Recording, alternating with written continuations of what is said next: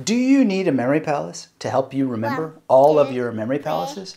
This is a interesting question that was raised recently by Richard Baker in the comments. Thanks to all of you who participate in the comments. I really, really appreciate that. I want to address more of them in the future, so keep them coming. And you know, this idea of creating an internal index in your mind that would help you instantly refer to information that you have previously memorized is quite an interesting one, but I don't think it's I don't think it's necessary. I don't think it's necessary at all. I was going to say I don't think it's absolutely necessary, but I don't know if it's absolutely necessary or not. But I'm going to give you a compelling reason and argument to think about this and see how you go because I think it's much more easy and direct if you use the Memory Palace technique in the most easy and direct way to use it.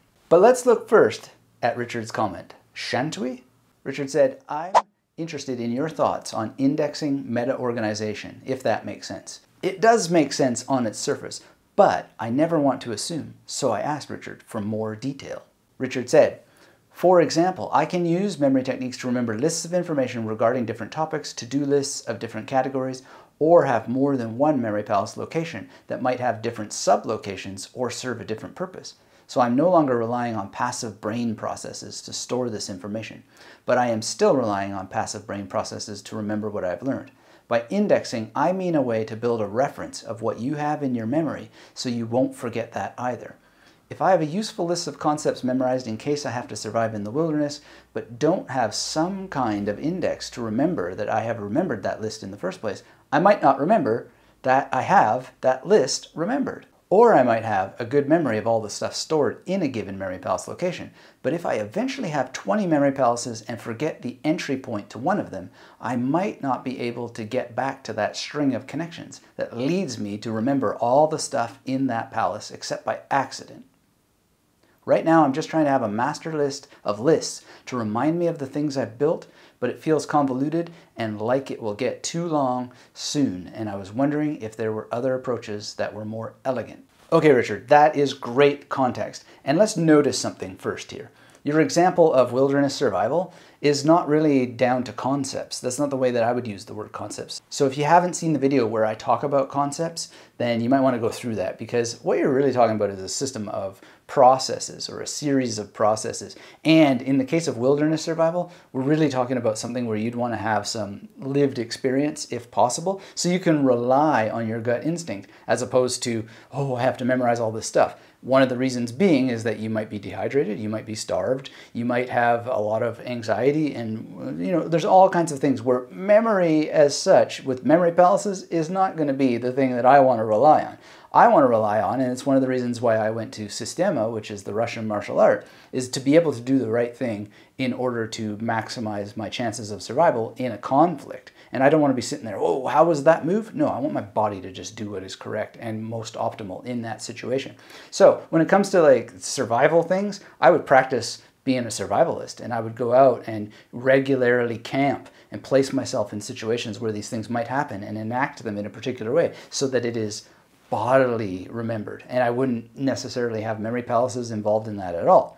However, to your question of having an index to remember sorts of things, here's the first way to think about this, and then we'll take it to the next level. The first thing is, is that if you create your memory palaces as I teach, which is indexed to the alphabet, then you already have the index. So if I want to remember certain things like German words, for example, and I'm stretching in my mind Sigmal, for example. It's in a Z Memory Palace. It has to be because it starts with the letter Z, right? Now, there's lots and lots of things like that. I can think back to my dissertation. I did a lot on friendship. There are three concepts of friendship that Aristotle did. And if I want to, you know, really revisit them and get get deep into what the ins and outs of them were, I can think back to that Memory Palace. And it's going to be an A Memory Palace because Aristotle starts with A. a. And I literally thought of a, a, painting that I've seen of him walking through the Memory Palace, walking me through those different ideas of friendship, right? So it's already there. The indexing is in how you use the Memory Palace. You don't need an index that refers to the index. The information itself gives you the indexing, and then you just put it in Memory Palaces that make sense to you. Now, You might say, yeah, but Anthony, that information is in Aristotle's Nicomachean Ethics, so why wouldn't you put it in an N memory palace? And the answer is, you could. I just didn't do it that way because in my research I was only focused on the Nicomachean Ethics, and I didn't have to deal with poetics, I didn't have to deal with ethics, I just dealt with Nicomachean ethics, and it was just that simple, right? So, you know, just do it in the way that makes sense to you. And if it made more sense to you to have an N memory palace for Nicomachean Ethics, great no problem. But the point is is to understand that the indexing system is self-indexing. You don't need an index that refers to the index. Now, if you wanted to build one, then I think you're going to have a self-interfering system. And the reason why is because how else would you index something other than with the alphabet? So now you have an alphabet that refers to the alphabet right? So let's say that I have a memory palace system. It's 26 deep because it's got one memory palace for each letter of the alphabet. And now I want to memorize that system. Well, what if I have five different A memory palaces? Then I have to expand it. I have to use some sort of software all the time. Why wouldn't I then just use another memory system to help me remember A1? Because I have a 00 to 99, right? So for every two-digit number from 00 to 99, there is a image. Am I going to have 100 A memory palaces? Probably not, but 12 certainly, and I do. So what is the signature for the 12th memory palace that belongs to A? It is Tintin, because Tintin is my image for 12, right? If I had a 25th one, then it would be either a nail or Niall Ferguson, which I sometimes use, right? Because of how the major system helps me create images that are brain dead simple to reconstruct. So it's self-indexing. I don't need an index to expand over time it already expands easily, right? Now, if you check out in the masterclass, there's a course on memorizing numbers, and in that course, there's something called the locker technique. And I talk about, you know, the potential to make a kind of infinite structure out of just a very simple building. Now, infinite, I use that word very loosely because none of us are going to live long enough to do that. But there is a way inside of a single, I use the example of a high school, to have a single constantly expanding set of memory palaces that themselves expand, right? So you might want to look into that. However, it again is self-indexing as opposed to an index that guides them all. I think that one of the reasons why that, that people think this way, and it's not the first time I've had this question, is that they want to have some sort of certainty that they're not going to forget things. And that's where really using the memory palace technique correctly comes into play.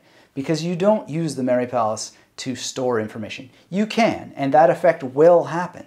But that's not the core point of the memory palace technique. The memory palace technique has a core point, which is that it allows you to use the structure of the memory palace itself to get the information into long-term memory so you don't need the memory palace. You don't have to say, whoa, I need to go to my mind palace like Sherlock. I think that's one of the weakest analogies I've ever seen. And I think it's a poisonous one because it's not how people have used the memory palace historically. I don't believe it's how they should use it now.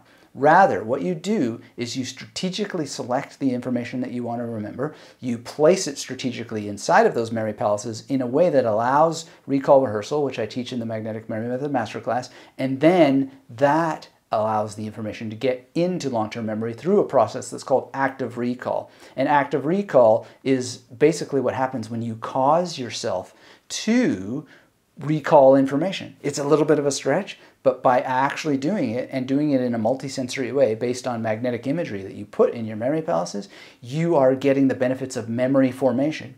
And because of how we use the memory palace, you're getting primacy and recency on each and every station of the memory palace, right? Because we're using serial positioning in a particular way, and we're using patterns to revisit the information, to reduce the amount of recall that we have to do, and get the maximum transference into long-term memory.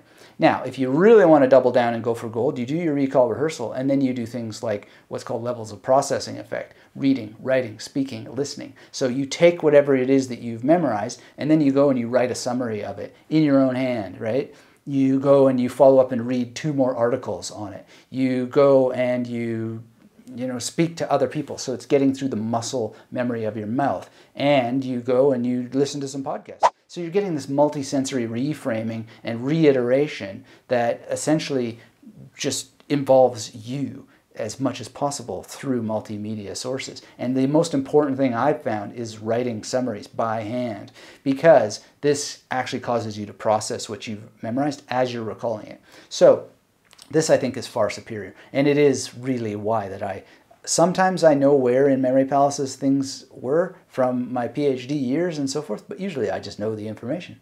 and that's what you want.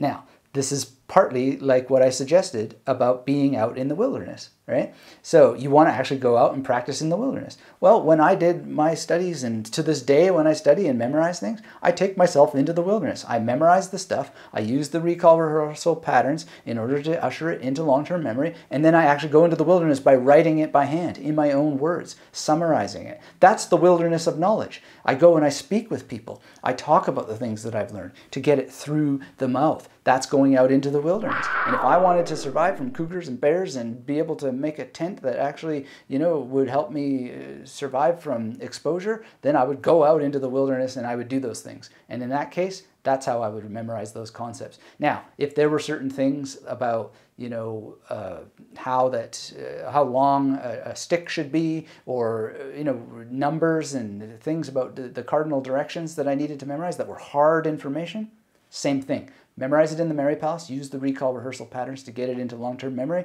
and then take it into the wilderness of actually writing it out from memory, speaking about it with other people, trying to encounter it in more videos and podcasts by listening and reading a couple more articles around it so that you have a phalanx of knowledge around that topic. The deeper you can get through all your multisensory systems, the more you're going to compound that value of what you've established with the recall rehearsal process out of the memory palaces. So I do not believe an index is needed. I do not believe that you need to do any of that stuff. However, I do believe that it's a very good practice to keep a memory journal and to write down your memory palaces and to draw them.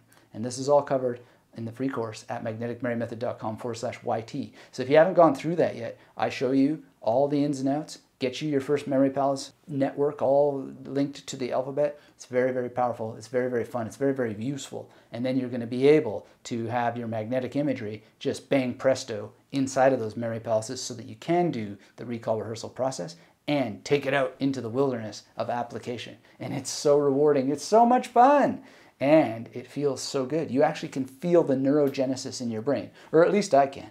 But you know, I've been doing this for a long time, so I enjoy it more and more all the time. I hope you'll enjoy it too because it's so rewarding. So, hope you enjoyed this video as much as I enjoyed making it for you. If you're new here, get subscribed, hit that thumbs up, and let me know what your action plan is. Are you to go out and try to create an index for yourself, or are you to use the Memory Palace in a way that is always already indexical.